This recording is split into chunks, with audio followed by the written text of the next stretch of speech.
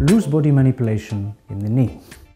Well, we make sure the patient is again in a good position and in a stable position.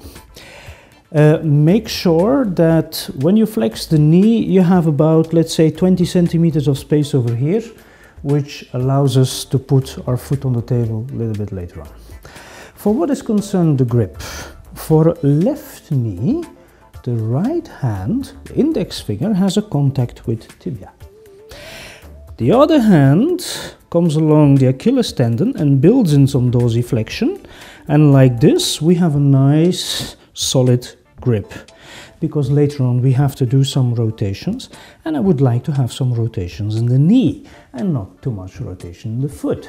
For instance, if you would have a grip more like this, then of course you also manipulate the knee, but you also manipulate five other joints in the foot and that's not the purpose. So left knee, right hand, index finger contact against tibia, the other hand builds in some dorsiflexion. Okay, next step, foot on the table. Next step, her foot on my thigh. Then I have a traction component. Then I stand on one leg, I build in traction and do the rotations. Frequently made mistakes are following